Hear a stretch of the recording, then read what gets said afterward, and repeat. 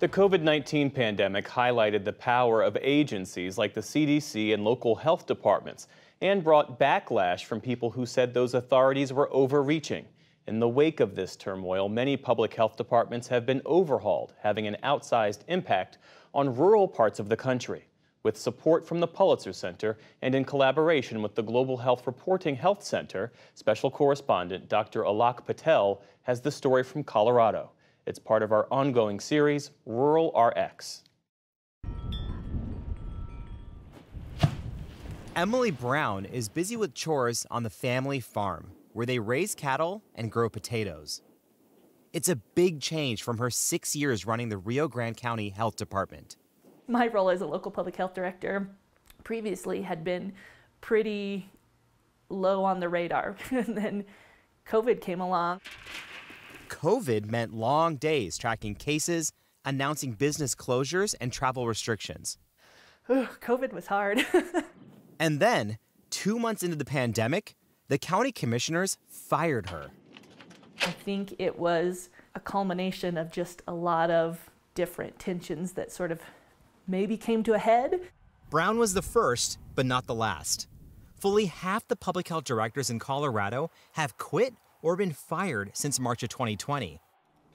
A turnover rate that is alarming to Tista Ghosh, the state's former chief medical officer. I would call it a nightmare for most of the public health community. So it's been a very difficult time, and a lot of people have left. The controversies did not end with COVID. Until late January, Kayla Marlar was public health director in Fremont County. She says her downfall came after she tried to launch a family planning program. When it comes to prevention, especially when it comes to birth control, it is something that is needed. In these small mountain towns, options are few and far between. And it was really disheartening as a public health director that I would have to tell my staff, you're going to have to let them know they're going to have to go to a neighboring county. Marlar secured a federal grant to start a program that would offer birth control, test for sexually transmitted infections, and treat patients who needed help.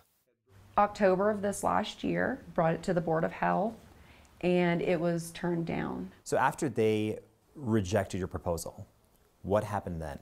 What pretty much happened is I was pushed out. I was pushed out of my position. County commissioners say Marlar was let go due to staff morale and financial incompetence, not family planning. But Marlar denies any management problems and showed us letters of support she got from current staffers. And it all came down to the vote by three people. So I had one female and two males on my Board of Health. The two males voted against it and the female voted for it. The three individuals you also have to understand are politicians. Um, they are in their position because they are elected by their constituents. They had absolutely no medical background. I think the debate continues now over whether public officials should be scientific experts who, who determine policy or if, if that should be left to elected officials. That question is playing out right now in the southwest corner of the state, where two counties that have run a joint health department for the past 75 years are going through a divorce. Like any relationship, whether it's a marriage or not, it takes trust. And what we have now is to talk about our Community Wildfire Protection Plan review. So Marsha Porter Norton is a La Plata County Commissioner who voted to stand up a new health department and end a long standing relationship with neighboring Archuleta County. The soon to be dissolved organization is San Juan Basin Public Health. You've had a really good day. Where Liane Jollon has been executive director for 13 years. We do everything from restaurant inspections to child care inspections to tracking uh, exposure to lead for children. We do things like um, ensure that people have access to family planning and contraception. We do breast and cervical cancer screenings. We do lots of family formation and early childhood programs. We have a water lab that tests drinking water. When the pandemic came, San Juan Basin jumped right in. We went into that response mode in the first week in March, which was extraordinarily early for a local public health department. But the response wasn't popular with everyone. Protesters returned to the home of the executive director of San Juan Basin Public Health Department, Liane Jollon.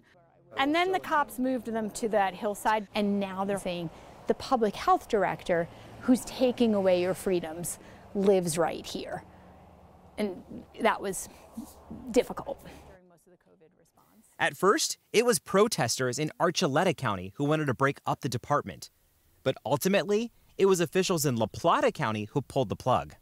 I think the pandemic laid bare a lot of differences in values. I failed to see how we were going to go forward in the future and have the kind of public health that I expect, which is what San Juan Basin is delivering now. They're delivering really good public health.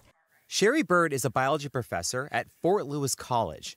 She sits on the Board of Health, which recommended the split.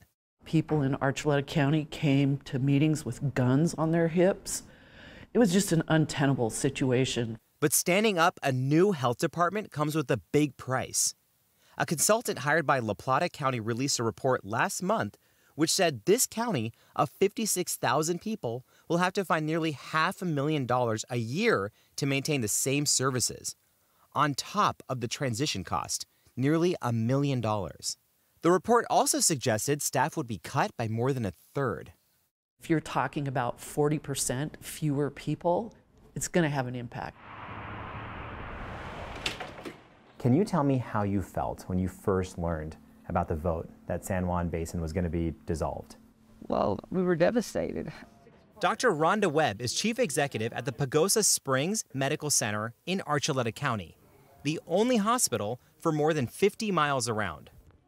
People in rural areas just don't have as good of access of health care, right? They, they just, they don't. So public health has to step in for those people and be there for them where they need to be.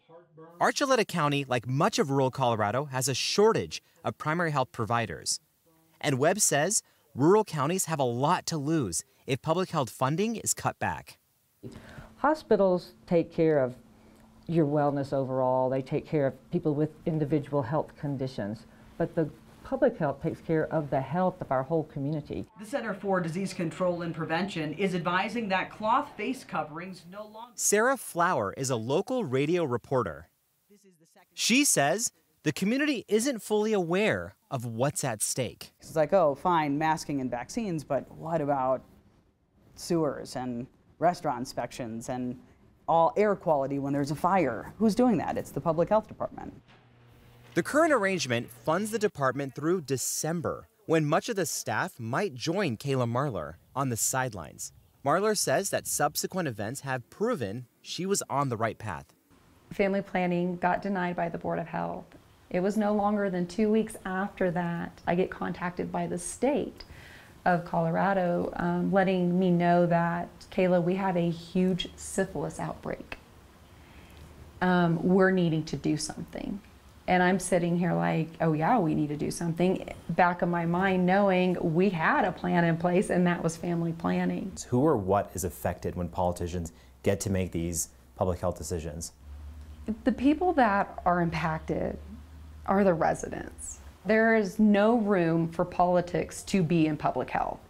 But with memories of the pandemic still fresh, the trend may be moving in the opposite direction. For the PBS NewsHour, I'm Dr. Alok Patel in rural Colorado.